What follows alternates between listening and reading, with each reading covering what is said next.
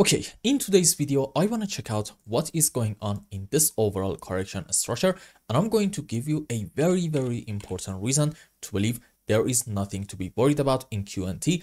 And after this correction is over, we are indeed going to get some huge, huge moves on the upside. So with that said, hi everyone, welcome back. I hope you're having a great time with your family and loved ones. And as per usual, since in QNT, we have been going down for quite some time, I'm getting in my videos some negative comments that say, well, okay, this is like a very bad token and we will never ever going to have another bull run and stuff like that. But I don't really agree with that. You see, first, I think the value of a token in the long term depends heavily in fundamentals first and also second technical analysis now in terms of fundamentals i think in qnt we are in a great place and qnt's overledger is definitely going to have a very important role for the future of blockchain. And in terms of technical analysis, we talked about it so, so many times. I believe in terms of Elliott waves, this whole move on the downside, it's just going to be a correction structure. And on a higher degree, we are having from this point, five wave up, maybe into a wave one, and then this move down is just a correction for wave 2 and after it's over, we can expect a huge move on the upside into wave 3 and 4 and 5. So in the long term, in terms of technical analysis and also fundamentals, we are looking great. So I just don't get why people are so, so mad in here. And let's just rephrase that. I don't get why you should be mad in here justifiably, okay? There are reasons to be very, very sad in quant because we talked about it before. In QNT, we got this huge move on the upside back in June of 2022 and in a lot of altcoins we didn't have something like this. That made a lot of people believe that maybe we're going to have another phase of the bull run and we're not going to get some more deep moves on the downside in here. So a lot of people bought QNT around these high prices, let's say about 120 to about even $150 and now that the price is down, they are very mad. And in that case, I absolutely get it. But when someone says that Quant is a bad token, that's what I actually do not understand. Just because we bought all the way up here and the price went down doesn't mean that the token is bad. No, it just means that we entered at the wrong time. Now, I'm thinking before we start the next phase of the bull run, there is a chance that in quant we might see some more moves on the downside in here in order to maybe take this low around let's say $40 but I don't believe that we're gonna go that much lower than that. And there is also a possibility that in it we may not even have this move down in quant I'm thinking either we are going to get our last move on the downside or from here we can start a huge move on the upside. And basically overall I'm thinking we are very, very close to the start of a huge move up. Now, let me just cheer you up a bit. You see, I promise you, we have seen something like this before, and I'm going to show you in a bit. Let's go on a less busy chart, maybe on crypto.com. Let's just do this. Okay, it's here. There we go.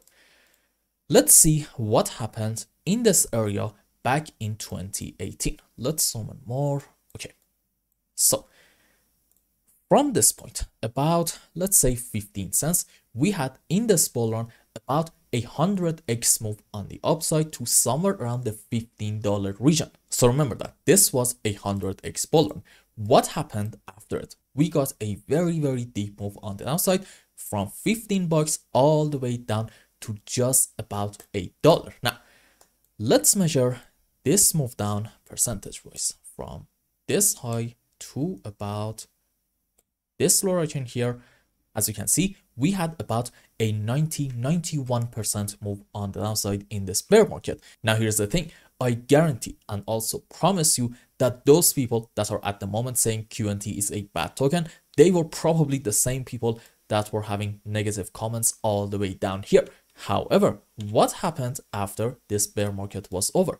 From a dollar, we had, you're not gonna believe it, about a 400x move on the upside and we reached to somewhere around 400 to maybe even $450. So if you're going to act the same and say maybe in this bear market, we are never ever going to get a move up just because we are having a very deep move on the downside, then chances are you are going to actually miss out a great, great bull run. Now let's go and see what is going on in this move down right in here. Let's measure it percentage wise. In the previous bear market, as you saw earlier, we had about a 90% move down. What about this bear market? As you can see, we are also having about a 90% move on the downside. So I just do not understand why some people are thinking just because we are having a very strong move down, we will never ever going to go up. Because according to this, this move down is pretty much similar to this bear market right in here and what happened after it we had about a 450x move up and to be fair i don't believe that this time we're gonna go up 400x no but i'm thinking a 10 to 20x move on the upside in QNT is very, very reasonable and there is nothing to be worried about. If you have some very important and specific reasons in terms of fundamentals and also technical analysis to believe that we will never go up, okay, feel free to mention them in the comment section and I will definitely check them out. But if you just want to argue that because we are having a move down, this means we're not going to go up anymore, I just do not agree with that and history definitely shows something else. Here is another reason to be bullish.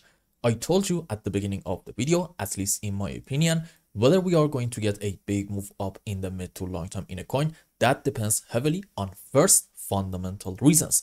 And in this phase, Quant was actually performing well in terms of fundamentals. The question is, has something actually changed in this phase on the downside? Well, I would like to suggest to just do your own investigation and come up with your own conclusion, but I have done mine. And in this move on the downside, QNT has actually improved itself in terms of fundamentals and I fully believe that Quant's Overledger technology is going to play a very very important role in the future of blockchain. So you see, even in terms of fundamentals, we are in a much much better place relative to the 2018 bear market. So let's just have a quick conclusion. In terms of technical analysis, we're looking great. In terms of fundamentals, we are also looking great. And I just do not see any reason to be bearish in quant in the mid to long term. If you know something that we don't, please, please tell us in the comment section so we can have a better understanding of what is going on in here and why we may never ever go up. Because from where I stand, everything in QNT looks great.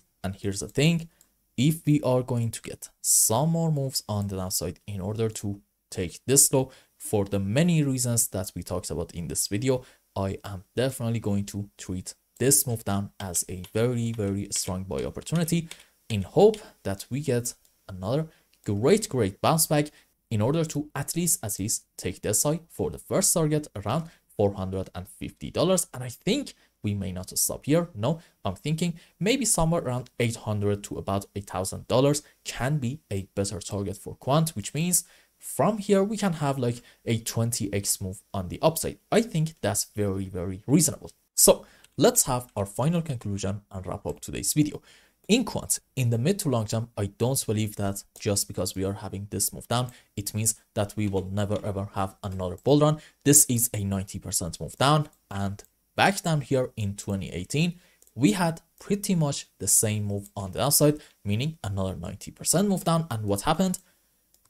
In this bull run, we had about a 450x move up. So just because the price is down doesn't mean that we're not going to have another bull run. This move down we talked about before is not specific for quant. A lot of altcoins at the moment do not look necessarily optimistic, but in the mid to long term, everything in my opinion is in the right place. And after this phase is over i fully believe that we're gonna have another very very solid alt season. And quant might actually be one of those great coins that are going to participate in it. So i hope i explained everything well and you understood what is going on in qnt's price chart in the mid to long term. Anyway if you found any value in my content, I would really appreciate if you like this video and consider subscribing to my channel and follow me on Twitter. And if you want more, maybe you want a complete analysis for your own specific crypto, or maybe you want to learn some decent TA in order to be able to make good money in the markets and you want to have access to Bitcoin analysis videos, you can become a member and ask me anything you want. And until the next video, I hope you have a wonderful time with your family and loved ones. Goodbye.